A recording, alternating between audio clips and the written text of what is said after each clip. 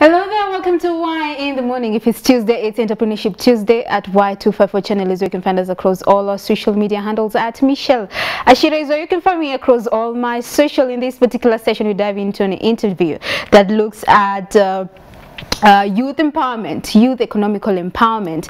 And in studio, I am joined by none other than Farhia Jama. She is the founder of Holby Training Solution.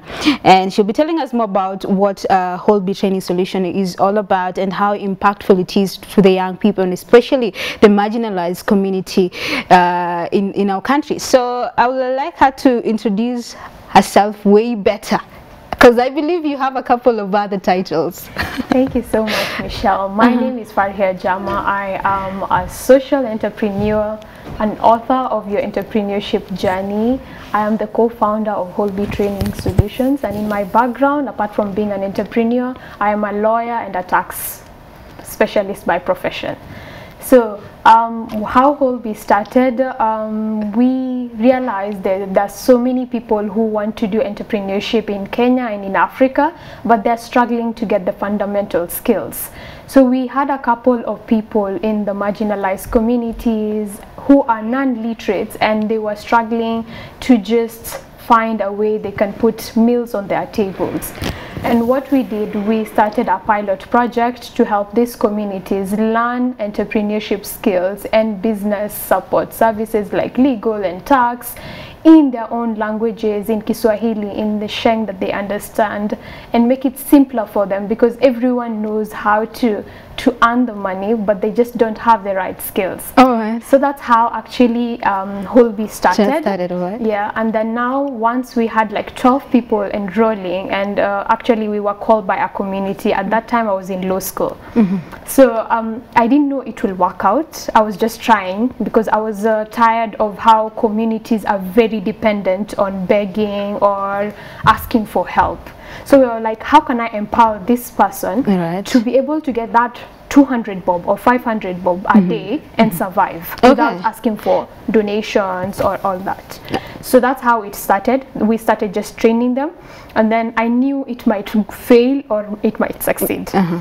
So I just tried it out and then these ladies who I trained in, in Park Road became, um, they were street ladies. They were just begging. Sometimes they were dependent on um, the mosque and stuff. So I started with my own community first. Because so you started way uh, back at home? Yes, I had to start way back at home because, I mean, if I'm starting out something, I need to help my people first. Absolutely. Yes. And I have to go home and really help my people. Then now, if it works out, then I can, you can reach out to, the, the, whole public. community, yeah, to the public. Yeah, yes. Before we get into details on yeah. what Holby training actually does, yeah. allow me to take us back to where the passion of entrepreneurship, it, where it all started. Because Farhia, you're very young, mm-hmm. very yes. young, and looking at your bio and a couple of things that you've achieved at this particular age. So take us back to where the passion, where it all began. So uh, my passion began when I was 18 years old. Um, I was just at home and I had finished school in 2012 high school.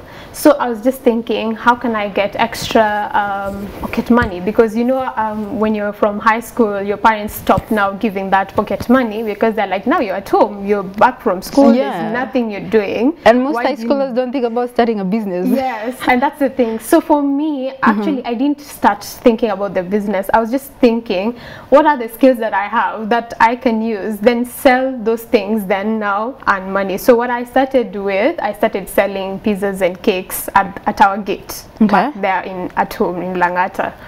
Then our neighbors used to buy the pizzas. At that time, Pizza Inn had not come in Kenya, so pizza was learning pizza, um, making pizza how was just pizza. Uh, yeah, uh -huh. how to make pizza was just a big thing then. So people liked it and the mandazis, and that's why you'll find most of my friends used to like the food I create or I make. So I used to sell that and then once I uh, started gaining traction, the cakes, the 50 bob, I used to get the 100 bob, all, the, all that now started making me think like what I can do a business. Mm -hmm. So at that time, I didn't know what fundamental skills I needed. I was just doing it for the fun of it at 18. Mm -hmm.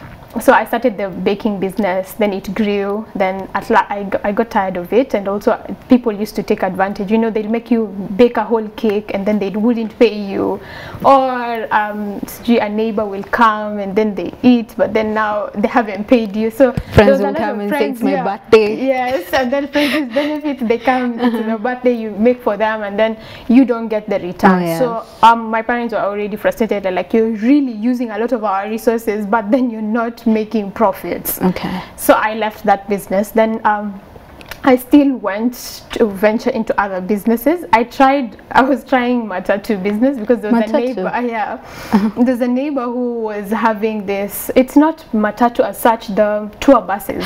Ah, okay. So I asked him, how much do you, how can I rent your tour bus? Because he was thinking, I'm so crazy at 18, who, who wants to do that?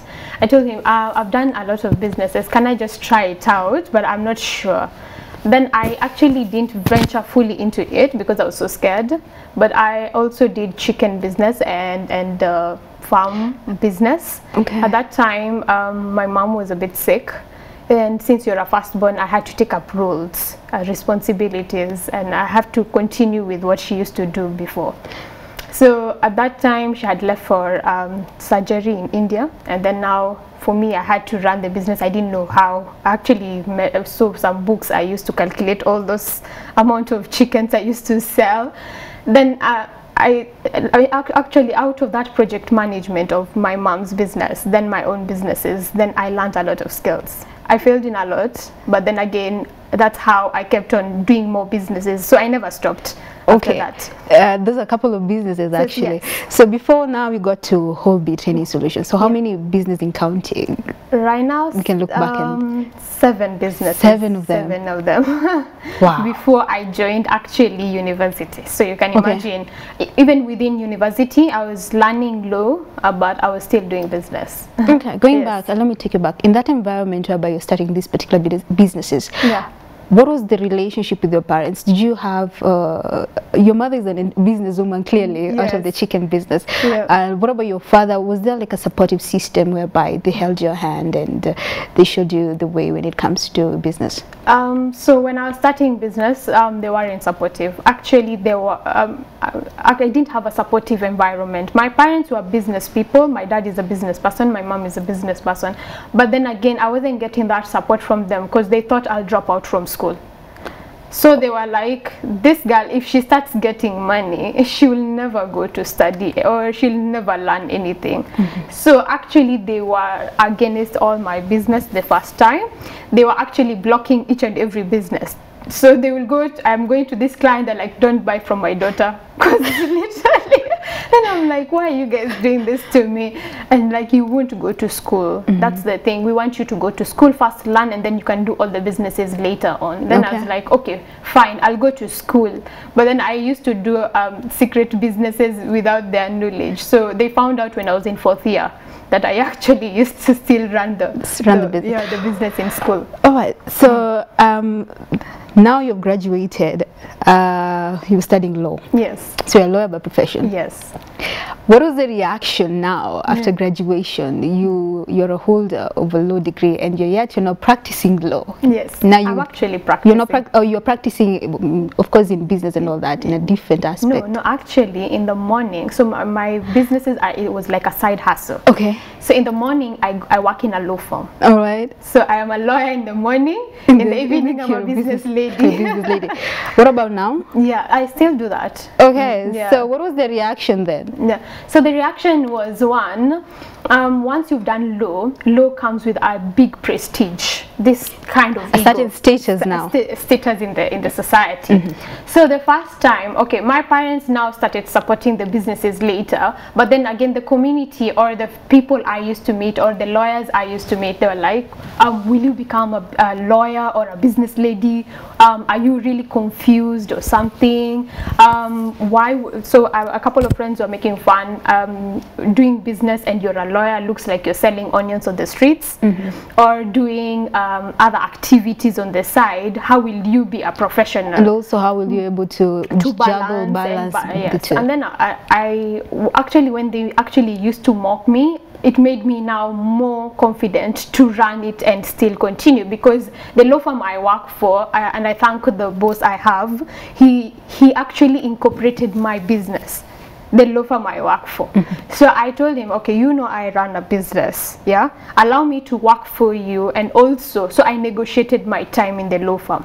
So allow me to work for you in the morning, but in the afternoon I need to leave. I mm-hmm. need to run my businesses as I need to do. So my boss was accommodative of that because actually he knew how Holby grew. How Holby was nothing at first in his, you know. So that actually really helped. I got mentorship from the same law firm. That's why I stick to the same law firm that I work in because they knew how I grew in business and also in the legal field. And they actually give you a space where you can actually, you know, grow now- your business. Yes, so it to where it allowed is me right to now. grow my business, and so that's the kind of um, future uh, employers that we need, who are accommodative to learn that this person has has like multifaceted skills. So you can't lock them from doing other side hustle just because they work for you. Okay. Yes. Gemma, I would like you to find out uh, from the just the story from your parents and how they tried to block so that you can focus in school and now you're also in uh, in a workspace and you had the confidence to talk to your boss and be like give me time to also run my business what drove you from day one when you you know from the parent aspect were still pushing for what you want what was that uh, that push you towards just uh,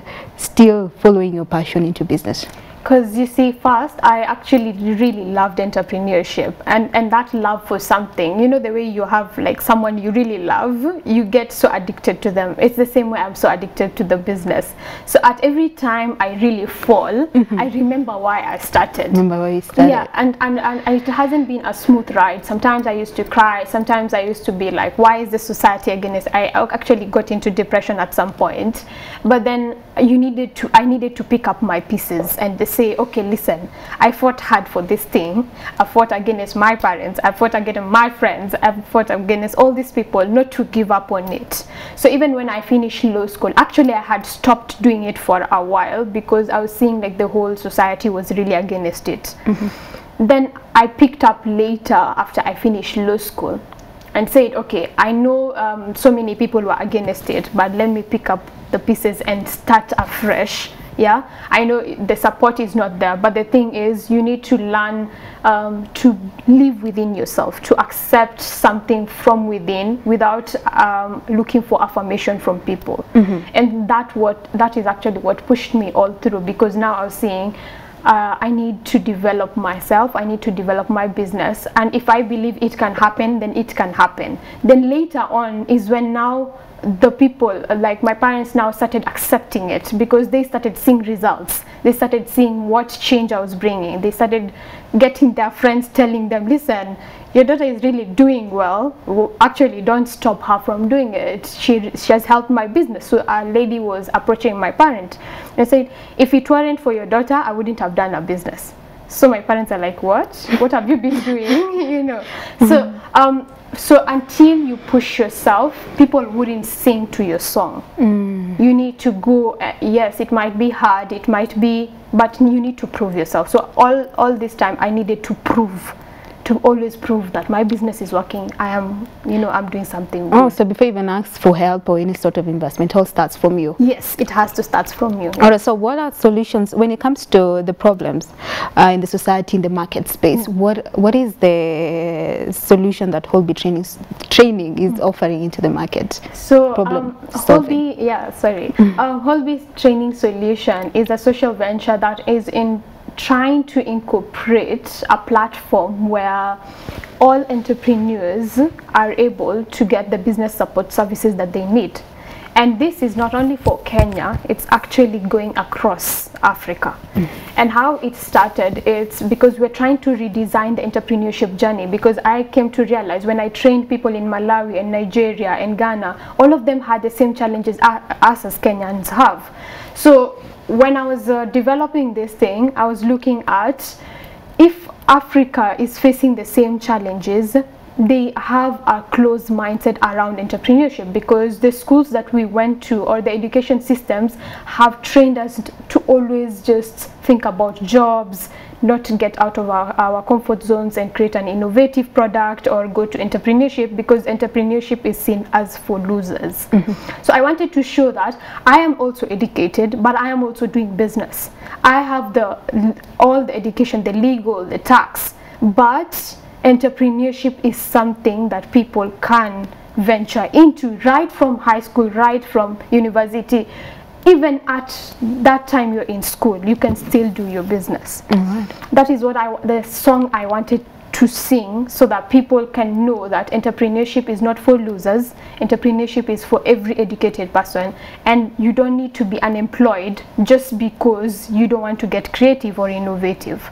So that is the kind of redesigning um, the entrepreneurship world that we're thinking about. And Holby is trying to create that hub for everyone that hub for entrepreneurs. So providing skills. It's all about skill training. Yes, so we provide skills, we provide the community because an entrepreneur needs support. Absolutely. I lacked support.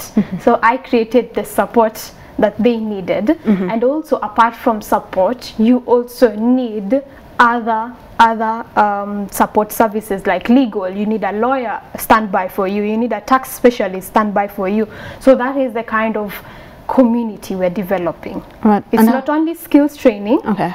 it's that support It's all that rounded. yeah an all-rounded platform where um, an entrepreneur feels at home Okay. Yes. If I need a lawyer, I can get I a can lawyer. If I get marketing, there's There- uh, there's a person who will help you handle marketing, marketing. yes right. Is it okay if I say it's a space where I can get uh, coaching for my business? yes you can get coaching you can get support you can get um, standby consultants Mm-hmm. to guide you all through so what we do we walk through the whole journey with you All right. that's all that's how simplified we can make it Okay. Yes. So let's look at a couple of courses uh, that the company offers and the programs. Yes. So some of the courses that we offer, one, we offer entrepreneurship skills, the fundamental of entrepreneurship. We also offer investment skills. You see, you've gotten money from the business. Now you need to sustain and maintain the wealth, right? So you need to learn how to invest. We also uh, offer financial literacy skills. Then we also offer tax, legal, digital marketing. So all these skills are all the skills that um, an entrepreneur needs. So from soft skills to technical skills to vocational skills. So vocational can come maybe you want to do um, manufacturing, maybe you want to create, uh, you want to learn how to make shoes, how to make tomatoes. So we have experts who are already ahead, who have done the business, coming to help you. Yes. A very uh, fundamental question is I believe you work with a team. Yes. How credible are they when it comes to offering these particular skills and who vets them? So um, we actually vet them uh, based on have you tried it something before because we only hire people who are multi- multifaceted in the skills that they have and they have implemented so most of the people out there they only have the theory like you're a lawyer you just have the theory you've never practiced before. So we cannot hire someone like that. We only hire people who have two to three skills. And and the other thing is you need to have done business before or you need to have an idea of how a business works. Mm-hmm. So that you're not misleading an entrepreneur.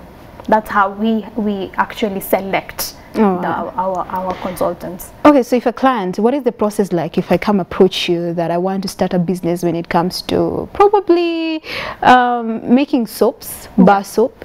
So what is the process like? What are you going to, what is the process going to look like Yeah. when I approach you? So um, when you approach us, you go through uh, an assessment first. First, um, the ta- it's called a talent assessment. So we have a partnership with a company that does talent assessment. They give you a report in where your strengths are, what you're good at, and which kind of business you might venture into. If you already have a business idea, then now we help you grow your business ideas. We actually help you fill in the forms.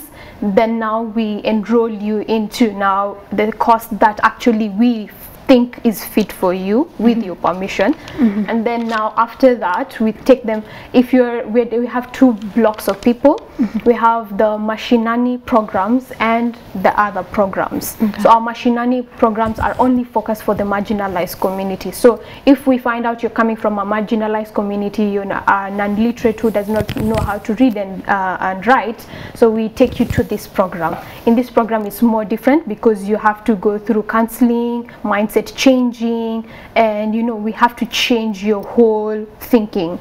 Then now for this other uh, entrepreneur who has the ideation who has the ideas or has already learned or, or has gone through school then now it's easier for them to just enroll for a course. Then we assign um, a trainer and this trainer or a consultant will be with them on that course. Then we offer one month coaching.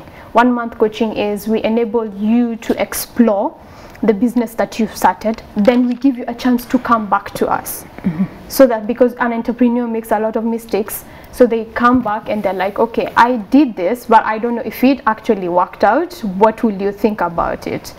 Then now we incorporate you now to the community of other entrepreneurs who have gone through the training who you can sell your products to and network with them. What I like is the aspect of how considerate your team was when coming up with